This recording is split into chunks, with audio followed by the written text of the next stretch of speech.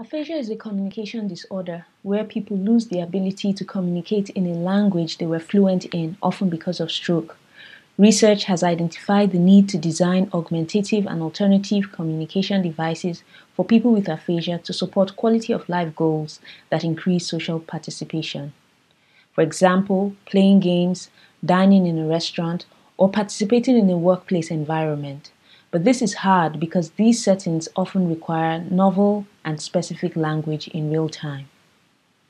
Through observations, interviews, and prototype testing with people with aphasia, their social partners, and speech language therapists, we characterize the important but challenging nature of supporting one specific leisure activity meal ordering in restaurants.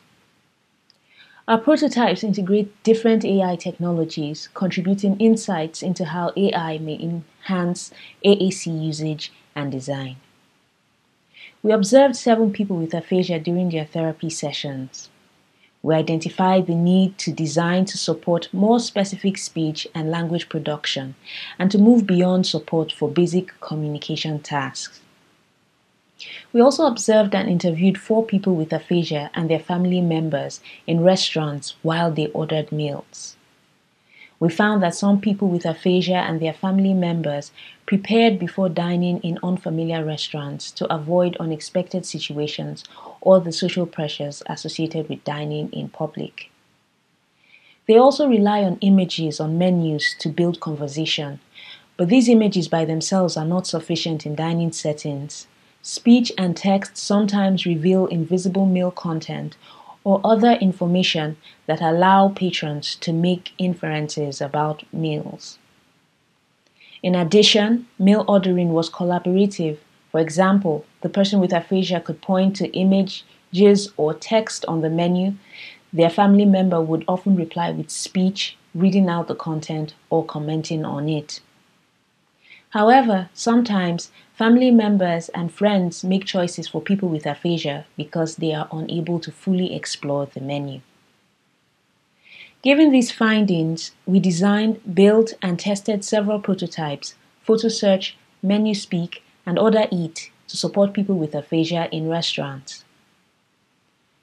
PhotoSearch allows users to take a photo of an object. It captions the object with a phrase in real time the texts in the phrase are associated with images, and each text image pair can be expanded to reveal more descriptive images. MenuSpeak allows its users to take a photo of a printed menu. The text on the menu is recognized and associated with speech and images in real time. Order Eat uses the user's location to retrieve restaurants and menus from the internet. Meal items are associated with images in real time. The user selects meal items into a shopping cart and can investigate meal items to know what ingredients are in them. We tested OrderEat iteratively with one participant, Ben. He was fluent and able to comprehend speech but unable to read and write text. OrderEat supported Ben to order a meal in an unfamiliar restaurant he was able to find meal names quickly while making his orders, explore the menu, discover menu items, and initiate conversations about meal items. Given these findings and the increase in kiosks and digital menus, we recommend multimodal menus with speech, images, and text to support people who are neurodivergent.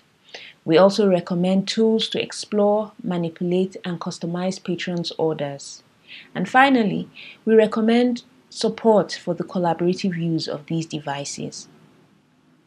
In addition, our findings lead us to recommend more research on ways to communicate inaccuracies in AI predictions and multiple modalities as one means to do so. We also identified the tension between providing context with real life images, multiple images, and so on to support comprehension versus using more concise, clearer images as an area for further research.